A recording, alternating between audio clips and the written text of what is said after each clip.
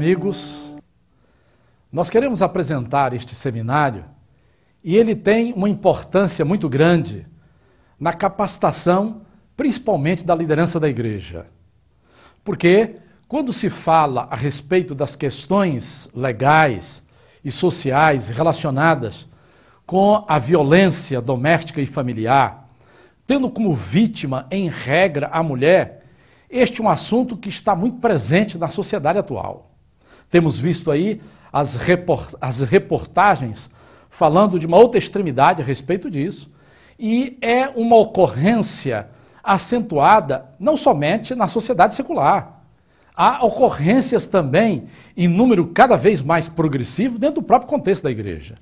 Por isso que é importante que a, a liderança da igreja esteja capacitada no enfrentamento dessas questões. Nós temos um texto brilhante que fala e incentiva a igreja a quebrar o silêncio. Veja, por exemplo, o texto diz: erga a voz a favor dos que não podem defender-se. Seja o defensor de todos os desamparados. Erga a voz e julgue com justiça defenda os direitos dos pobres e necessitados. Por esse texto, a Bíblia já nos mostra que é, ela veda terminantemente qualquer tipo de opressão contra quem quer que seja. E, evidentemente, no caso específico, contra a mulher. As questões de fundo da violência doméstica nós vamos encontrar enraizado na própria cultura. Conhecida esse tipo de violência como a violência do gênero, ou seja, a violência que é uma forma de dominação baseada na força do mais forte em relação ao mais fraco. Isso está impregnado na própria cultura religiosa. Nós temos inúmeros casos, inclusive divulgado pela Organização das Nações Unidas, de países que cultuam determinada cultura religiosa e que praticam continuamente a questão da laceração da genitália feminina, com a extirpação do clítoris. Evidentemente, dentro de um aspecto de fidelidade matrimonial. Temos também, dentro da própria cultura científica, desde Aristóteles, na cultura grega, este filósofo já dizia que a mulher é um homem imperfeito. Ao longo da história, podemos perceber de maneira clara que a mulher foi tratada como propriedade privada e, dentro desse aspecto, ela não ostentava qualquer tipo de direito, tão somente de servir a família, de servir o marido. Olha, por exemplo, na cultura popular. Temos alguns ditados populares que mostram exatamente esse aspecto do endeusamento ou da idolatria da violência. Olha, por exemplo, esse ditado que diz que em problemas de marido e mulher, ninguém mete a colher. Ou, por exemplo, roupa suja se lava em casa. Isso mostra exatamente uma forma de idolatria da violência que ninguém pode, por esta visão, adentrar ao ciclo familiar para quebrar o silêncio em relação à violência. A luta das mulheres não tem sido fácil. É uma luta que vem de centenas e centenas de anos. Primeiro, para na tentativa de derrubar os estereótipos relacionados com o endeusamento da violência. Olha, por exemplo, a luta pela igualdade de direitos, promovido pelos movimentos feministas. No caso específico do Brasil, a mulher só foi conquistar o direito ao voto na Constituição Federal de 1934. E esse direito conquistado ele é o divisor de águas que alavanca uma série de conquistas de outros direitos, como, por exemplo, a criação das delegacias de polícia de defesa da mulher, que vem no ano de 86, através da Lei 5.467. Inúmeros outros direitos que foram conquistados a partir exatamente dessa abertura cidadã dessa abertura constitucional, nós temos, Por exemplo, a Lei Maria da Penha, conhecida como o Estatuto da Mulher. Nesta lei, há um tratamento diferenciado das mulheres, por considerar, na prática, que a mulher havia uma desigualdade crônica no sentido de inferiorização da mulher. E por conta disso, a Lei Maria da Penha, atendendo comandos de princípios constitucionais e todo o movimento legislativo na órbita internacional, veio trazendo uma nova sistemática de tratamento da mulher.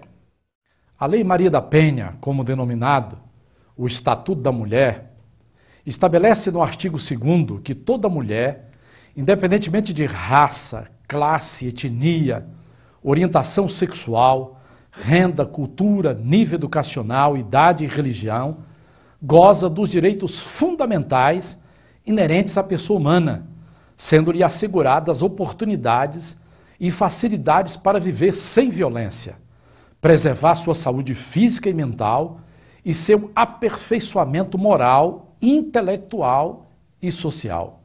Esta lei também estabelece em um dos seus dispositivos que os direitos inerentes à mulher foram alçados à condição de direitos humanos e, portanto, direitos fundamentais que devem ser assegurados não somente na órbita interna, mas também internacional, porque está protegido pela Constituição Federal e também pelos tratados e convenções internacionais.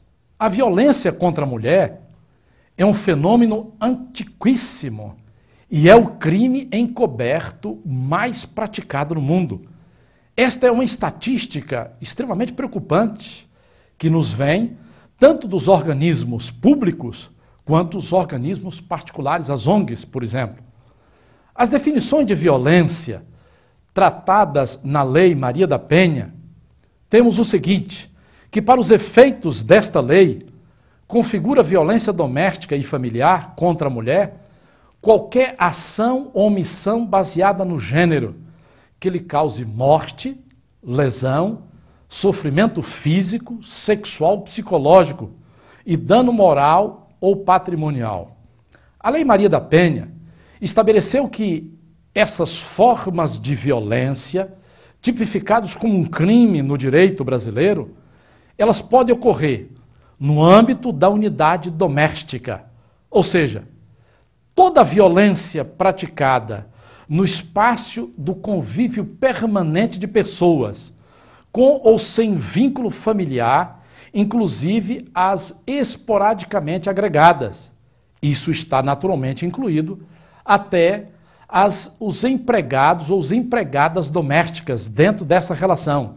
Estabelece também a lei que esta violência ela é praticada no âmbito da família, ou seja, toda e qualquer relação de parentesco por consanguinidade ou por afinidade, nesta relação, em si praticando a violência, está acobertado por esta Lei 11.340.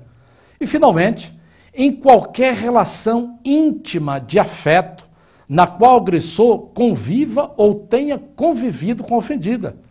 Esse é o caso específico do ex-marido ou ex-companheiro, que acaba agredindo ou abusando fisicamente, ou psicologicamente, ou moralmente, ou sexualmente da ex-companheira ou da ex-mulher. Está também aí previsto na lei. A Lei Maria da Penha estabelece cinco tipos de violência contra a mulher. Nós temos a violência física, que aquela que causa danos à integridade física da mulher. A violência psicológica, quando é, ocorre quando insinua a existência, por exemplo, de amantes, ofende a mulher, os seus familiares com frequência, desrespeito ao seu trabalho, critica sua atuação como mãe, fala mal do seu corpo, como também não deixa não deixa se maquiar, cortar cabelo e usar roupa que gosta. Ou seja, qualquer tipo de depreciação, seja através de palavras, de gestos ou algo parecido que possa denegrir a imagem da mulher e contribuir para a sua baixa autoestima, caracteriza a violência psicológica. Outra forma é a violência sexual. Outrora se entendia que a mulher, pelo fato da relação matrimonial, ela tinha a obrigação de concordar com o marido em qualquer circunstância na prática do sexo. A partir da instituição da Lei Maria da Penha, passou a se prever, no âmbito normativo brasileiro, que a prática do sexo contra a vontade da mulher e mediante força caracteriza a violência sexual. Temos também a violência patrimonial. Porque dentro da relação matrimonial, as mulheres possuem os seus objetos e bens de natureza pessoal, que lhes são de estima.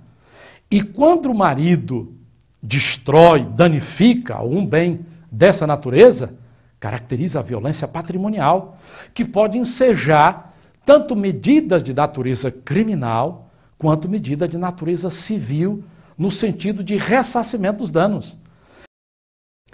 A violência contra a mulher, ela possui o seu ciclo, chamado ciclo vicioso. Primeiro inicia através do momento de tensão, de desgaste, de discussão entre o casal. Evidentemente por algum problema de desentendimento da relação. Esse momento de tensão chega ao ponto auge de explosão.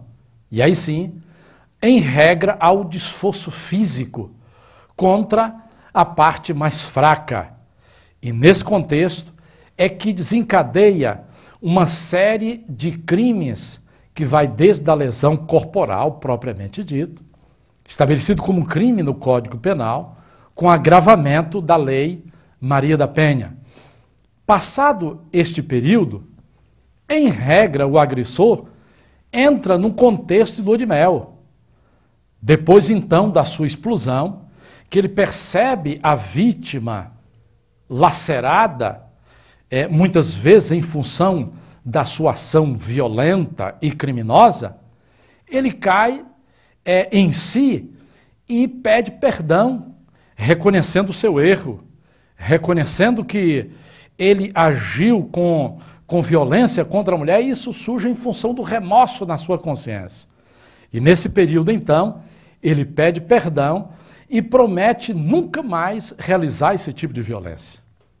Nós temos visto é, que as dificuldades da mulher em romper com o laço afetivo em face do agressor decorre em razão de alguns elementos que são importantes esta compreensão.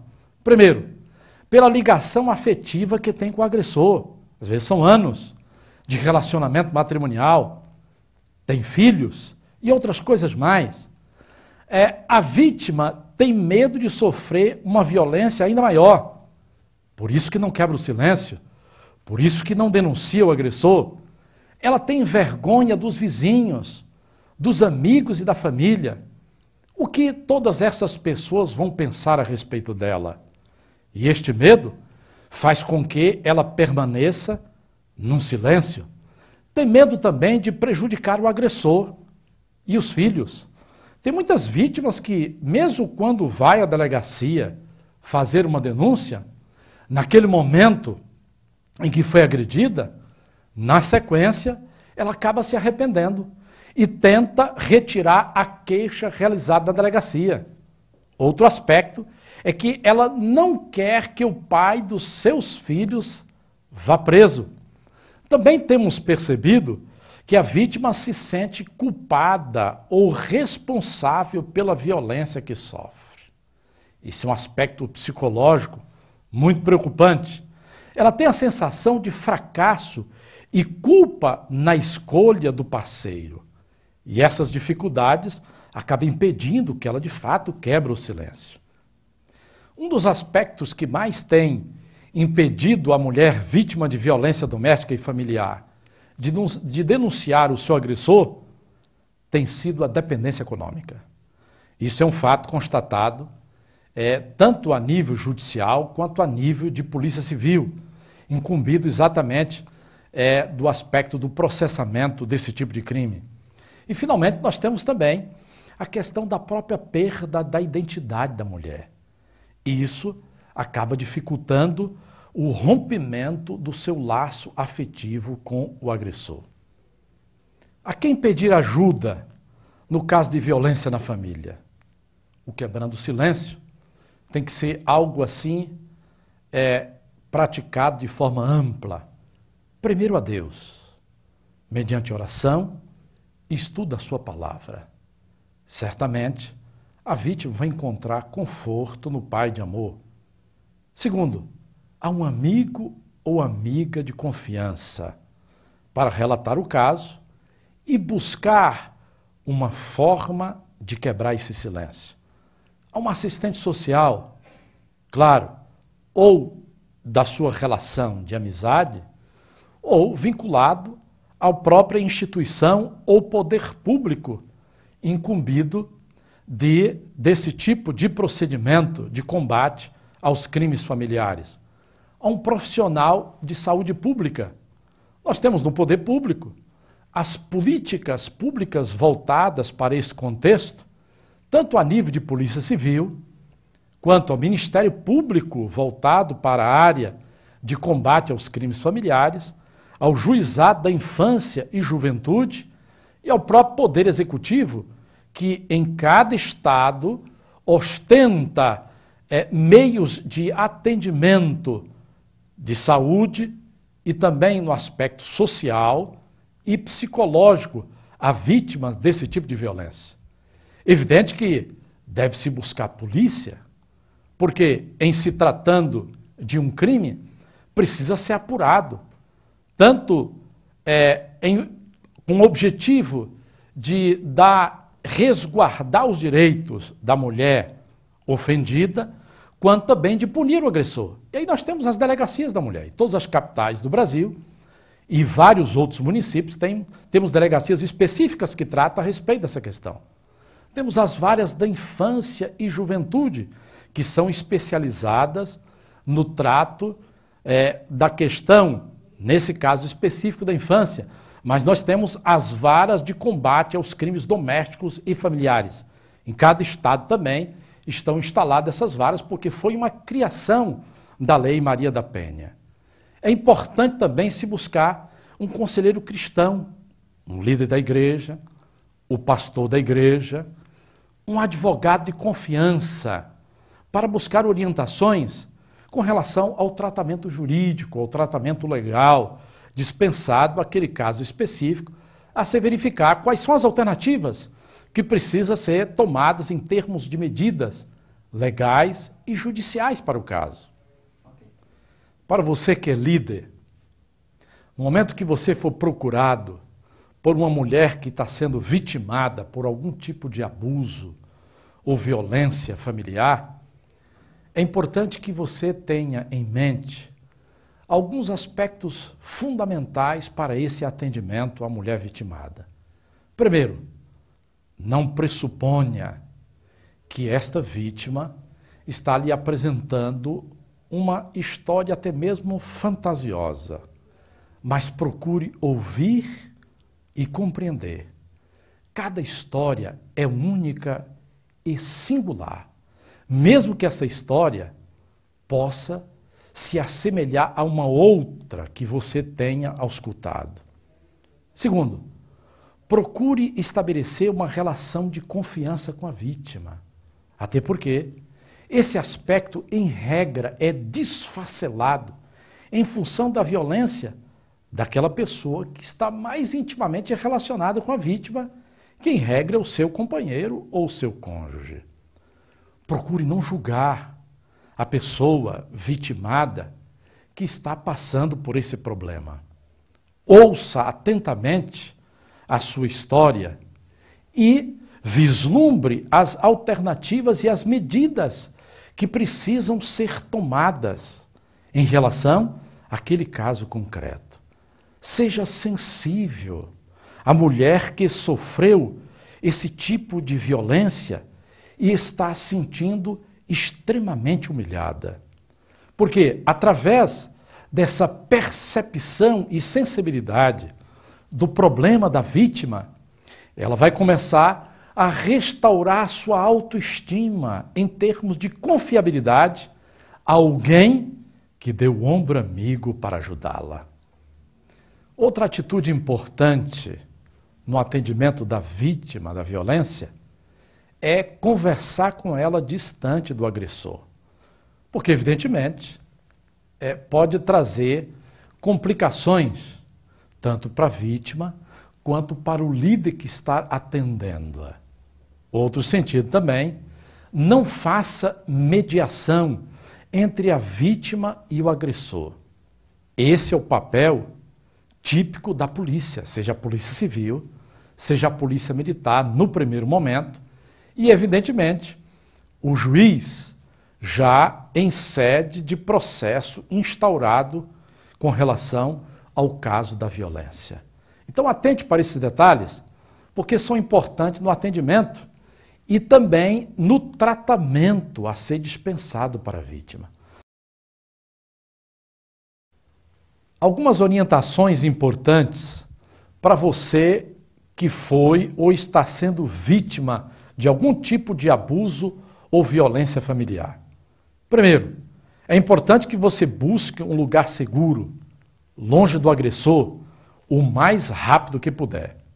Segundo, telefone para uma amiga de confiança. Vá a um pronto-socorro para ser examinada. Não tome banho e não mude roupa antes de ser examinada. É importante isso para se configurar a materialidade do crime, porque é importante aí fazer o exame, o exame de corpo de delito o exame de conjunção carnal. Ligue do hospital para a polícia. Você tem o direito de informar o crime, até para que a polícia tenha condições de empreender investigação com esse objetivo. Ligue para o seu pastor, ou para alguém da igreja ou da comunidade em quem você confia. Busque ajuda psicológica se puder. O estupro pode provocar efeito terrível em sua vida.